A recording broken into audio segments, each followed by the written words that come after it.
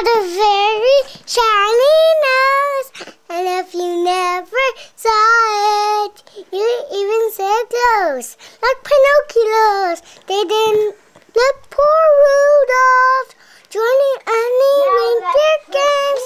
Then one foggy Christmas Eve, Santa came to say, Rudolph, with your nose so bright, won't you guard my sleigh tonight? Now the reindeers loved him, and uh, they shouted, Broccoli, didn't they?